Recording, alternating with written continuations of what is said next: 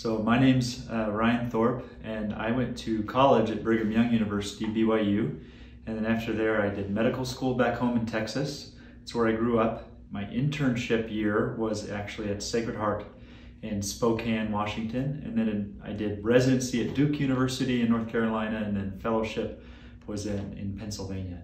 So I've kind of been all over, and now we've been in Idaho now two years, and we love it. So I was actually a third year medical student, and I had a patient who had a skin cancer on his lower lip called a squamous cell carcinoma. And it was uh, that patient, I was just amazed by the whole process. He was cured of cancer, he had no lip, he needed a new lip, and they did something which I've now learned is called a mucosal advancement flap, where they take the inside of the lip and are able to recreate the lower lip. I thought that was just fascinating. So I asked where I could learn more about this, and they said, well, you should really go talk to the dermatologist. Specifically, you should go talk to the Mohs surgeons. So that's what I did that same day. I was at the VA in Dallas, Texas, and I went and found the dermatology department. Their clinic was over. There were a couple of dermatology residents still there.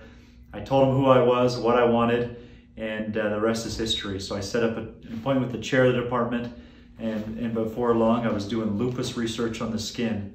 And that's what kind of put me on the path that led to dermatology and then Mohs surgery. Lupus is where you, you meet so many criteria uh, to be, it's an autoimmune disease. And like almost half a dozen of the criteria are actually cutaneous or skin related. And there's one type of cutaneous lupus called discoid lupus erythematosus. And I spent that summer looking at uh, biopsies from DLE patients and trying to categorize the infiltrate the goal was to say, hey, if we can identify which cells are in the skin that are part of this disease, maybe we can actually learn to both understand it and treat it better. So we did it. We did a. Uh, so that that was my first publication in dermatology. Was actually in the specific inflammatory mediates of discoid lupus erythematosus. And I, I think if I never had that patient who had that skin cancer on his lip, I definitely wouldn't have realized that it had everything I wanted. You know, I thought I thought it was going to be north. So really another answer to your question is I thought I was going to do orthopedic surgery, and I think I would have loved it. I don't think I would have not loved it. Um, I, I liked I liked it a lot, but it wasn't until I had that patient at the VA with the cancer on his lip, where he like they cured the cancer and fixed the lip, and he went home cancer free with a lip that worked. He could talk, eat, and I just thought to myself, that's cool. And that's when I started learning a little about Mohs surgery and decided that's what I wanted to do. I think one of the things that I would say that I learned most from that is is I think a lot of us, including myself, kind of have the idea that we've got everything figured out. But the truth is, we're still learning. We're still learning about how to how to treat disease and and how to um, understand it better. And so, um, since that point, I've done research on uh, everything from psoriasis to disease in, in different populations to melanoma to um, reconstructive techniques of how to help people heal best after skin cancer surgery. And so I think the biggest thing that I learned from that project specifically was just the idea that we there's still so much more for us to learn and that there are lots of there is lots of improvement to uh, be better as as doctors and as a field. You know, Mohs surgery is one of those things that you definitely need to read lots of books that's not going to get you very far. It's more important to learn from good teachers. Um, I was very fortunate um, to learn from what I think are some of the best uh, in the business, so to speak. Uh, first, I was with a guy named Jonathan Cook. He's a Mohs surgeon at Duke University, um, one of one of the best around. And I was I was pretty humbled one day because he said he made a comment. He said that he 99% of the repairs he does he's unsatisfied with. And at the time, I thought to myself, you're crazy because it's flawless. I mean, he's just amazing. He's, he's both talented, but also smart. He's dedicated, he's ethical. I thought this guy is off his rocker. Um, but the truth is, uh, I, I, as I've now done this thousands of times myself, um, there is something about trying to be uh, that, that attitude that I learned from him about pushing to try to be excellent every time and there's something you can actually get better and learn from even if you've done something thousands of times but so i first learned some of the te- those techniques Mohs surgery from him and then i was fortunate enough to go train with john zitelli and dave Brodland. Um, Dr. Zitelli trained with Fred Mohs. He's who Mohs surgery is named after. Um, when Dr. Mohs first started doing the Mohs technique, it's very different than what we do now. The concept was the same. The concept was let's look at more of what's removed, more of the margin to get a higher cure rate. And at the time, he was a heretic. People thought he was um, offering substandard care. But the truth is, is as time has gone on, and now it's been repeated millions of times, um, Mohs micrographic surgery gives the highest cure rate um, for almost any cancer, any location of the body. Now, of course, it's not approved for all cancers in all locations of the body, but certainly high risk tumors in high risk areas or in high risk patients, or any combination of those three, Mohs micrographic, Mohs micrographic surgery is the gold standard, and it's because of people like Fred Mohs. But learning under John Zitelli and Dave Brodland, um, definitely learned more and more. And obviously, as a young surgeon, you you go to conferences, you, you try to stay up to date on the literature, and the most important thing is to just do it. And so, both in residency and in fellowship, to be able to just have an opportunity to practice with some of the greats is, I think, what helped me um, become who I am today. But I can now look back at what Dr. Cook taught me and, and say, you know what, there's, it's never, never be satisfied and say, okay, this is enough. But just keep working, keep trying to become better and better for your patients. So I think patients react, patients react to skin cancer um, in lots of different ways. Um, it depends on if it's their first time ever getting skin cancer or not. If they've had it before, they know that we're going to be able to help them get through it. If they've never had skin cancer, then um, simple education can really help calm the nerves. Most skin cancer is easily treatable. It's usually just a local problem.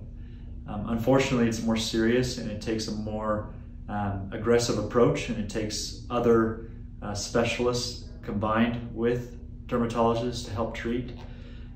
Um, but I think for people that it's their first time, definitely a little bit of anxiety and fear.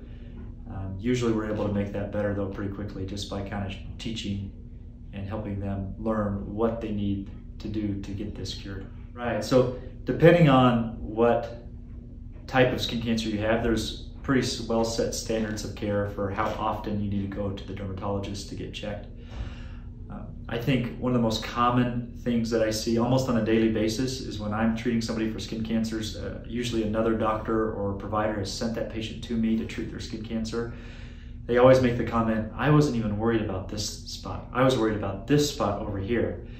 And oftentimes, um, I mean, I hear that every single day. And I think if you are at high risk, meaning you've had sunburns, blistering sunburns as a child, um, you've uh, been, on, been around for more than just a few years here on, on the Earth, then you're, it's worth a skin check, a full skin exam, just to see and make sure that there's nothing that needs treatment. The nice thing about skin cancer is that skin as an organ takes a beating. I mean, it's it's uh, protects us from the outside world. It protects us from disease and infection. It's a barrier that keeps everything together and it's also bears the brunt of UV damage. And so it, it takes a beating, but the, the best thing about it is that it can be seen. You can see it. it. we, we can't pull out other organ systems that you have and look at them, whereas with the skin, we can look at it. And so that's one of the benefits of being a dermatologist is we can ski, see the organ system that we've been trained uh, to treat. And so skin cancers are often caught early when they're easily treatable and 100% curable. And that's definitely something that I love about what I do is almost every patient uh, that I do treat, you're able to cure. And you can't say that about other uh, cancers. Uh, what do I wish patients understood better? Honestly, I feel like we just have great patients that seem to understand and soak everything in. Um, I would say one thing that we always try to help teach our patients, my whole team, is just that we've done this before. We've done this before thousands of times. I promise we can get you through this. I promise it's not going to be near as scary as you think. It can often actually be a very pleasant experience where we're able to um, pain control, manage that. We're able to get you through surgery. We're able to get you cured. We're able to get you uh, healed. And I'd say almost always, patients always remark like, oh, that was not near as bad as I thought. I would say, if anything, I wish that on the front end they didn't have quite so much anxiety, that we could help assuage that before they get here, instead of having to go through it and then with hindsight look back and say, okay, yeah, you're right. When you're looking for your dermatologist, the truth is all of it matters. Where did they train? How did they train? Are they kind? Do they have uh, patients that will vouch for them, that will say good things about them? Um, I think it's worth getting somebody who is kind, who's pushing uh, to um, the knowledge barrier, so to speak, somebody who's trying to get back to the field. I think all of that matters. Uh, at the end of the day, you want to be with somebody that you're that you're comfortable with. I think generally you'll know that even after just one visit. Um, it's it's interesting to me that in medicine sometimes being on this side of things as a resident, every once in a while you'd hear a patient say, "Oh, that doctor, I didn't like that doctor. I would never go back to that doctor." And in my mind, as the resident who knows what that doctor knows and knows how well that doctor treats people, sometimes I'd be floored because I would say, well, that's actually the best doctor here.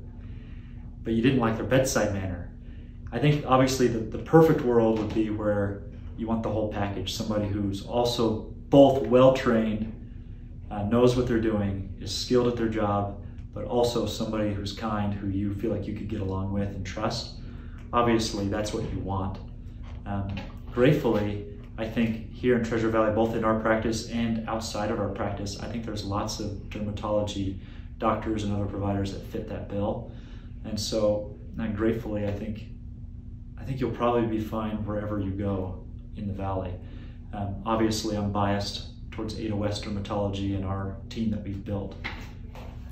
So I, I think that some of the biggest strengths of West Dermatology when you have these this many people who are this well trained, it pushes me to be better. Um, but we've got an, another Mohs surgeon who, you know, trained at Mayo. Everybody knows that name in medicine. Or we've got dermatopathologists that were trained at Dartmouth, and we have uh, physicians that served in the military, and we've got uh, PAs that, that trained with um, you know, one that trained with Dirk Elston, who's the uh, head of the American Academy of Dermatology at one point, and is the current editor of JAD, which is our premier journal. I mean, they're just uh, smart, kind, ethical, well-trained people, and we work together. So often, uh, people will ask me my opinion on this issue, or or I'll reach out to other people and say, "Hey, listen, I got this patient with this. Can we?" any other thoughts or ideas. Um, it's especially helpful because we take call for the hospital system. And even just last night, I was chatting with one of the other doctors about uh, something he was consulted on. And uh, it's just a huge strength. It's one of those situations where one plus one equals three. And I think West Dermatology has that. Ooh, that's a good question. One myth that never seems to die about skin health. Uh, certainly, vitamin D is important and you uh, people say moderation all things, and I think that's true too of the sun. Uh, but one one thing that's been hard sometimes, even with patients that have skin cancer after skin cancer, is to convince them that uh, the UV rays they've received in their lifetime contributes to their skin cancers. Most most patients agree with that and believe it and buy it, uh, but some don't. And I'd say uh, usually it's not an issue, but on occasion you'll have a, a patient who's had a melanoma, uh, a cancer that can kill you, and yet they're continuing to tan and to go to the tanning beds.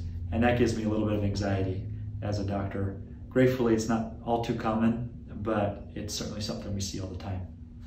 Right now, I've got a manuscript that I've submitted to the Journal the American Academy of Dermatology, or the JAD, and it's about melanoma, specifically um, historically, we, we, we predicted the future of melanomas and tried to decide who needs sentinel lymph node biopsy or who needs chemo or now immunotherapy, who needs CT scans based on characteristics of the biopsy. And so that biopsy gives you lots of things, but a couple of the biggest things is it tells you how deep it is.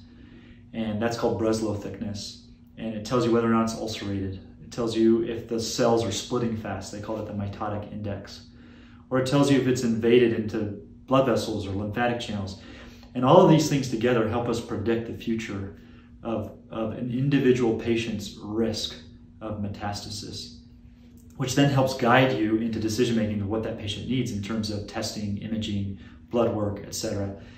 And so one of the new tools that has come out though is something called the gene expression profile, where they actually take that and they look at the expression of, of three dozen genes, and it's called the gene expression profile test. And I did a, a project where I, what I did is I, I looked at about 1,200 melanoma patients who had both their pathology report and their gene expression profile test. And basically the goal was this one predicts, this one predicts, but if you combine the two, can you predict even better?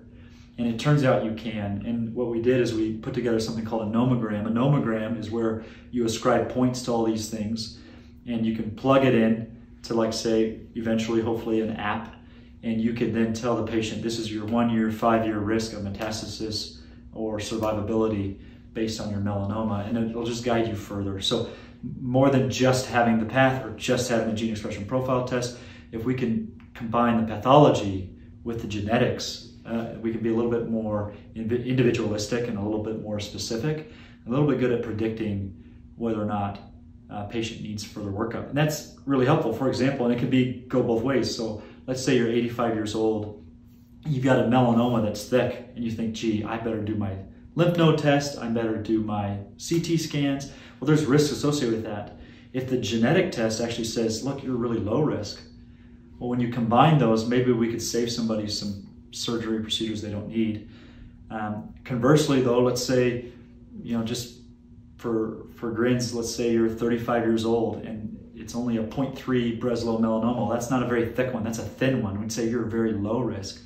But we do the genetics test and you're high risk. Well, we can combine that and say, listen, based on your age, we can better predict your sentinel lymph node positivity. We can better predict the, the metastatic risk. And it's a completely different uh, conversation to have. And by combining that, by, by becoming better at prognosticating the future, maybe we can help guide patients, protect some from surgeries they don't need, but encourage others that probably wouldn't have done it had you not said, hey, look, if you take it all into account, it might save somebody's life. I mean, that's the end goal. So we love Idaho. So I actually have my my great grandparents. My grandparents grew up in Shelley and Rigby, Idaho. My great grandparents, great great grandparents, and great great great grandparents are all buried in eastern Idaho. So I have some Idaho roots.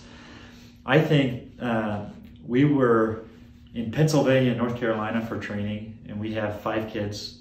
We've got a lot of family out west, and so we were looking to come out here, and this uh, opportunity opened up right at the right time. And we just love Idaho. We love mountain biking in the summer and skiing in the winter. We love going to the mountains. Uh, the coast isn't too far away. We've got a lot of family in northern Utah. Um, I'm a big BYU football fan, so with them going to the Big 12, I have a little bit of nostalgia saying, gee, if I was still in Texas where I grew up, I'd go to a lot of football games. Um, but we're not that far from, from Provo, so we're able to do all of it.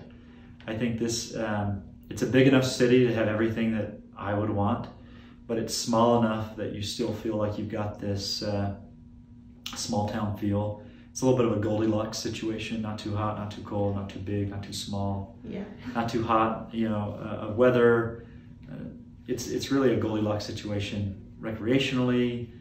Um, and as far as raising kids, I mean, it's a little bit of a safe haven. I think the world's a bit crazy right now, and there's a lot of conflict, mm-hmm. and uh, we feel fairly grateful to be in Idaho, and we love our neighborhood, love our neighbors.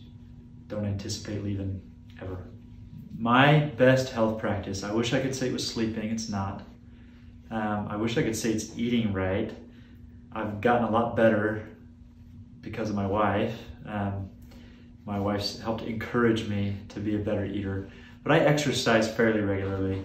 I would say at least you know three times a week, whether I'm running or biking or lifting weights.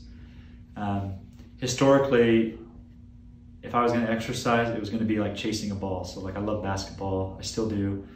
I'm a little bit more careful nowadays with my hands and my fingers. Um, but I love to mountain bike. Even then, though, got to be pretty careful with that too. I don't take take a spill, so I don't go I don't go hardcore down the mountain at all. But um, a little bit of speed's okay. But I would say I, I'm I'm pretty proud of the fact that I exercise three times a week. Between uh, family and work and church, exercising three times a week is something I can be proud of. Yeah. Ooh, so I probably I grew up 20 minutes south of the Dallas Fort Worth Airport, so I'm a big Dallas Cowboys fan, Dallas Mavericks fan, Texas Rangers fan, all thing North Texas sports. Um, it probably depends on the time of year, but right now it's definitely Dallas Cowboys. Is, is probably which works out because Boise State has so many players. Kellen Moore is our offensive coordinator at the moment. Oh, So I'm holding out hope that uh, when Mike McCarthy, who's the head coach of the Dallas Cowboys, does retire, that Kellen Moore, Boise State, obviously great Hall of Fame college football quarterback, could take the reins as the head coach, and then I'll have something to talk about with patients forever, because they'll always be Cowboys fans because Kellen Moore is the man there. There's good uh, influences in sports and church and scouts. I would just say just take it in take in all their advice. They all gave me good advice. Work hard, be nice, be honest, uh, get outside of yourself, go serve somebody, um, push yourself, try and be the best you can be.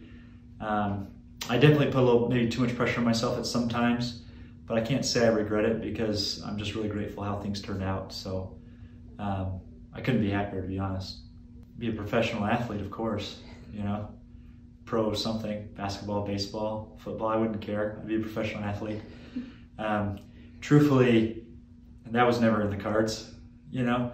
But I, i'm definitely i don't think i could ever do it um, but I, i'm really inspired. I love reading uh, like historical nonfiction and reading about some of like the heroes we have uh, both in our military or other military and like listening to like this pursuit of excellence for some of these special ops units I don't think I could ever do it, but it's definitely something that like inspires me.